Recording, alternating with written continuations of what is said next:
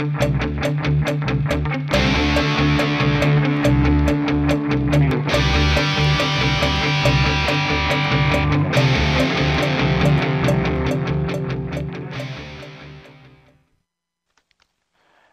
my name is Sergio Danelli. I'm a, a developer at Education Services or Juniper Networks. Uh, I am going to be talking about using IPv4 with OSPF version 3.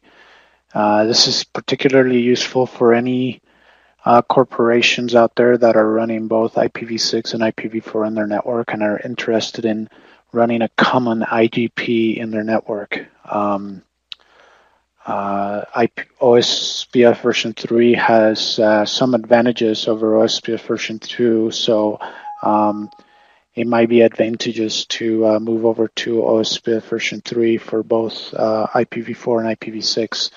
Uh, and I'm going to go ahead and show you how to do it with uh, Juniper Networks routers. So here we have an example network topology. we have R1, R2, R3, and R4. R1, R2, and R3 are running in area 0. R2 and R3 are ABRs um, with, with R4 running um, in area 1. Um, so we currently have a uh, both OSPF version 3 and OSPF version 2 for um, for IPv6 and IPv4 traffic. Um, so if we look at your our configuration, we have both protocols configure on R1 um, in area 0. Um, we have both protocols configure in R2 for area 1 and area 0.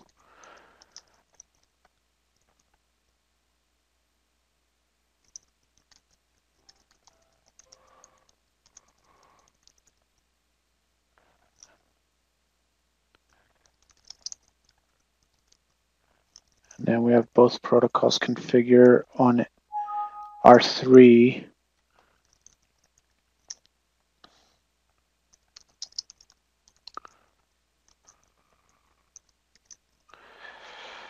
Uh, so what we're going to do is we're going to test connectivity. Uh, so from R1 to R4, we're going to uh, ping the loop back. And uh, we can see that we can reach the loop back um, for both protocols.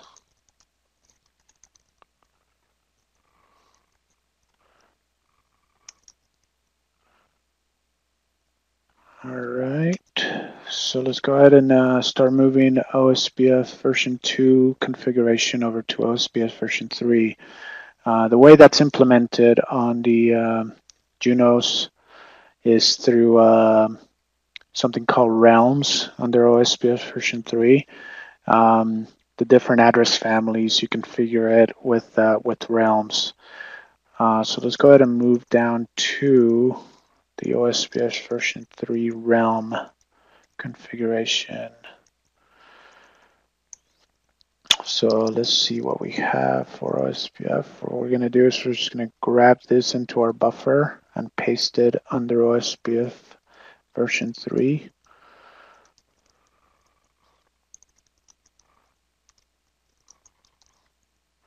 And then what we're going to do also is we're going to change the preference.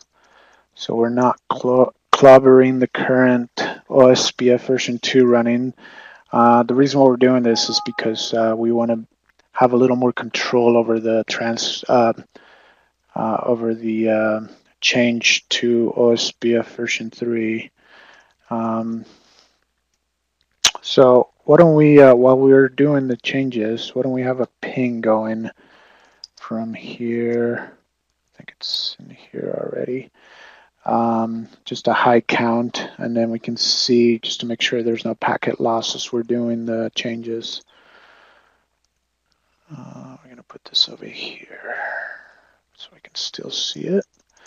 Okay, so R1's done. Let's move over to R2.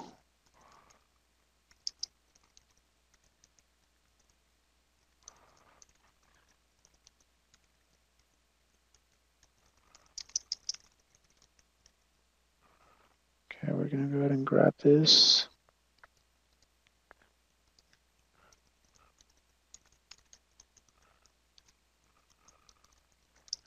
Set the preference for internal routes. If you need to change the preference for external routes, there's also a configuration here to do it. Um, I don't need to do that right now because I don't have any external routes, but um, if you do need to do that on your network. Um, okay, let's see what we change. So all we did is we grabbed the OSPF version 2 IPv4 configuration and pasted over to a realm under the IPv4 unicast family for OSPF version 3. Um, so here we have it all ready to go.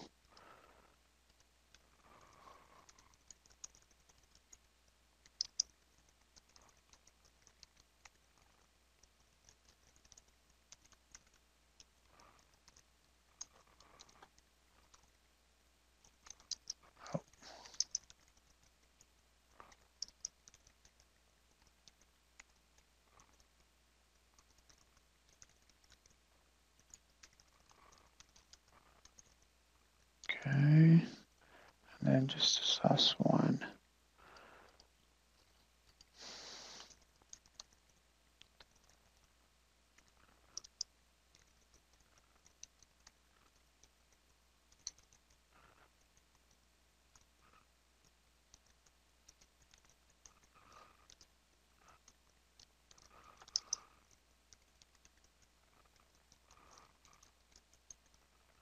So let's see, we haven't lost a ping yet. Let's make sure that everybody's up. Okay, we're going to look at the inet.0 table. Okay, so we can see the routes in there.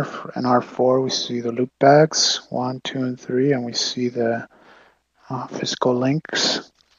Um, and we know that it, they're not active since they don't have the um, the asterisk next to the uh, to the protocol.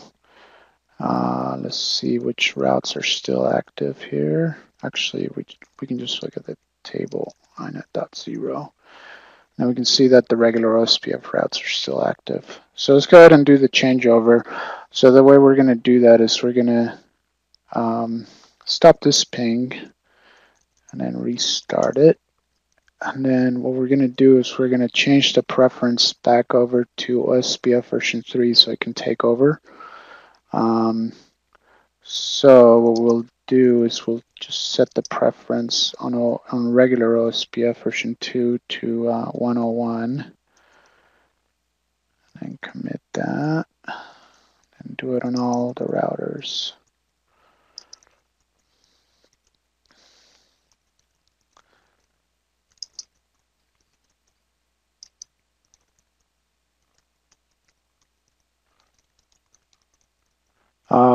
I don't know if you guys can tell, but I'm toggling on the bottom between routers. Um, so if you see my change in the host name and the change in the highlighted host name on the bottom.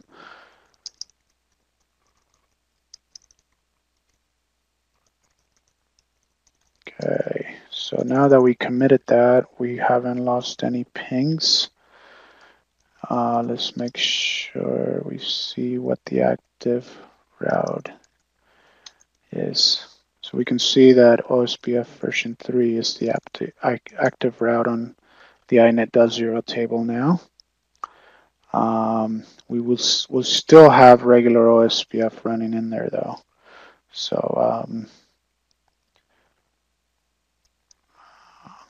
let's look at that. So OSPF version 3 and it's running uh, with OSPF version 2. So what we can do now is we can just delete OSPF version 2 from your configuration.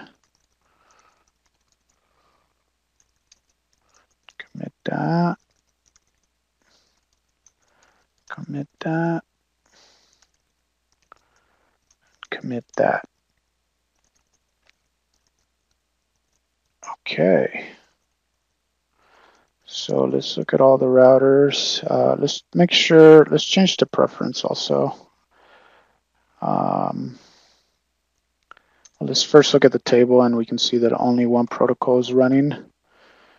Uh, and let's go ahead and delete the preference and set it back to the default.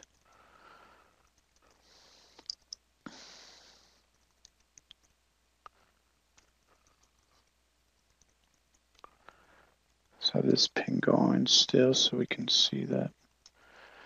Let's just copy this so we don't have to type it out.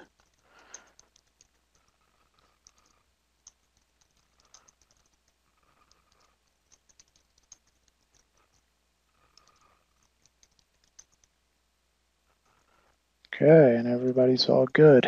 Uh, so we still have reachability, as you can see, from R1 to R4. And uh, let's just make sure we also have re reachability to our IPv6 locations. We shouldn't have caused any problems there, but just because we're paranoid about our network, we just want to make sure that we have reachability. I'll just set it to 10.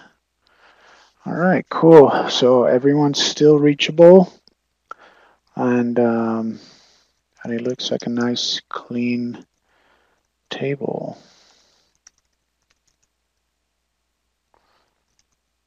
So now we have both protocols running.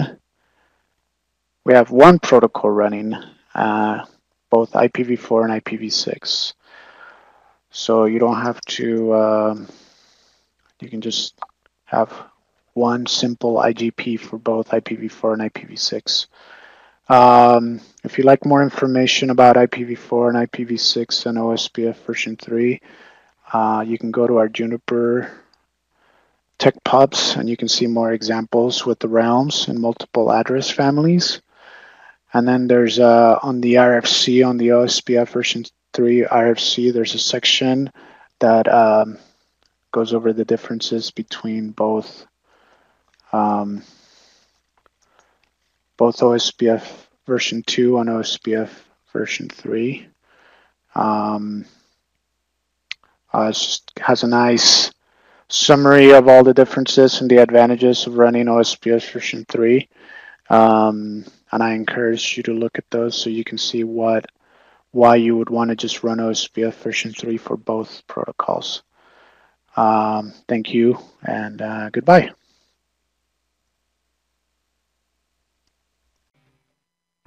Visit the Juniper Education Services website to learn more about courses. View our full range of classroom, online, and e-learning courses. Learning paths, industry segment and technology specific training paths. Juniper Networks Certification Program, the ultimate demonstration of your competence and the training community. From forums to social media, join the discussion